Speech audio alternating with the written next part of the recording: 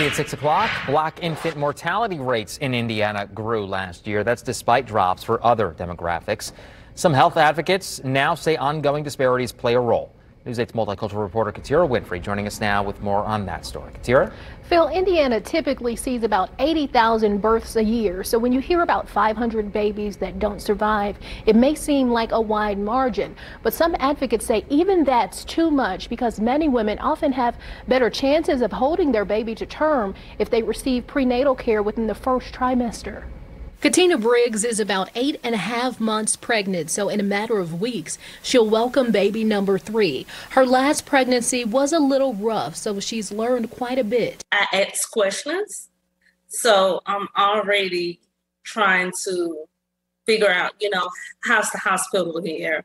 But black infant mortality rates are still areas of concern. Briggs is making it the focus of her Doctor of Health Administration dissertation. In Mississippi, I had like several people, they just, you know, they would go all through their pregnancy and they would get to the end and something would happen to their baby.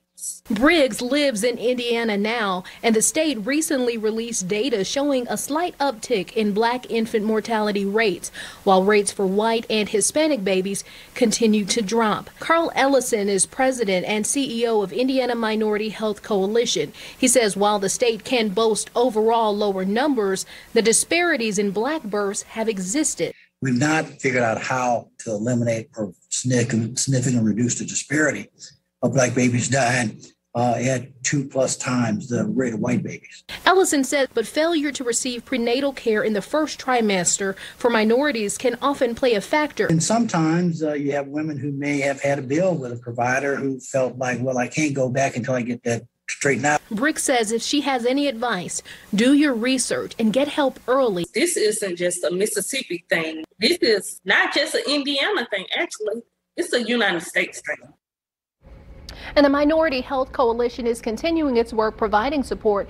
The state is continuing to expand its My Healthy Baby program. It's geared at pointing mothers and expectant mothers to resources. Reporting in the studio, I'm Wish TV News 8's multicultural reporter, Katira Winfrey.